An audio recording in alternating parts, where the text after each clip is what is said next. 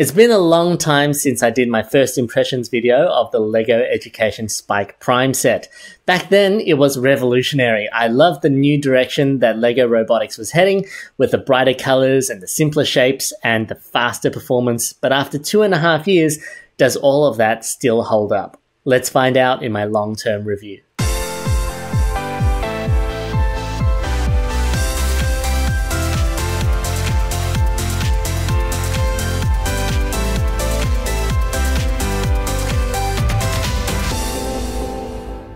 Now, a lot of you may not know that I actually run a couple of robotic centres here in Sydney, Australia. And unlike a school, our education centres use robotics all the time, which means that the Spike Prime box sees a lot of action.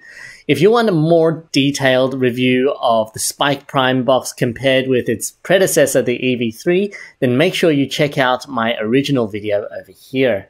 Now, I spend a lot of time making technology videos just like these, so if you find this information helpful, then please consider liking and subscribing to my channel. It is your support that lets me continue making videos, so I thank you in advance. Let's start with the hardware. As with all technology, the more you use it, the more wear and tear occurs with the system, and sometimes issues can creep up that we don't spot in the beginning. The good news is that as an education tool, Spike Prime hardware is fantastic. We have a total of about 20 of these sets in our classroom, and some of the hubs have gone through hundreds of charge cycles and they're still going strong. However, one major problem we have had was with this one Lego piece that ruins everything. It's this tiny little wire clip. Now, these wire clips are used for holding down cables of the Spike Prime motors and sensors, which would normally be a great idea. But unfortunately, I found that after prolonged use, uh, they can actually cause damage to the wires, especially if you have younger students who aren't as careful when they're attaching and detaching these pieces.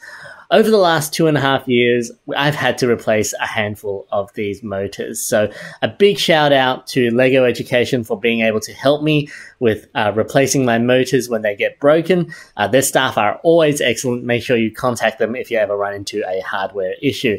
The way I get around it now is to remove the wire clips from my Spike Prime sets and ask students to uh, ignore the instructions that include the wire clip parts or to build their own wire management solution. The motors and sensors all function really well after a few years. And what I found really surprising was the force sensor and how resilient it is compared with the EV3 touch sensor. The old sensor tends to get loose and the spring can fall out after prolonged use, but with the Spike Prime's force sensor, it is super reliable and works just as well now as it did in the beginning.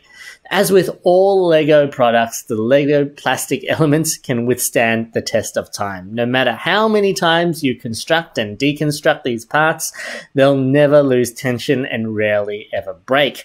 Just remember to wash the parts regularly with warm soapy water to ensure the best experience for your students. Next, let's look at the Spike Prime software, or the Spike app as it is now called.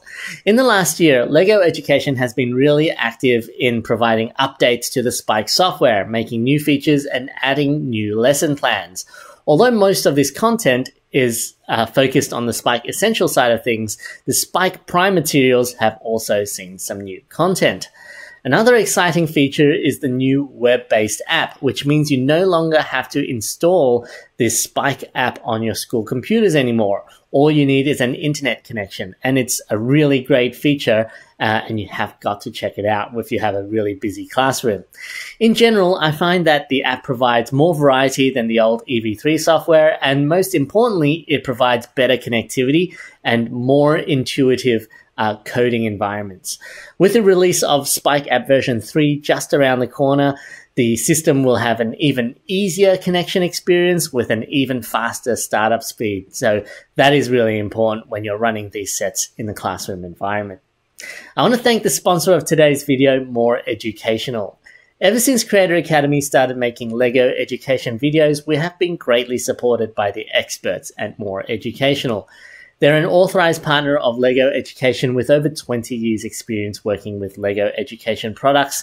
So if you're in Australia and you want to buy genuine LEGO education products like the ones shown in this video, then make sure you check out the Moore Educational website. What do you think? What is your long term experience with LEGO Education Spike Prime? Be sure to leave your comment in the comment section below. I'll see you later. Bye bye.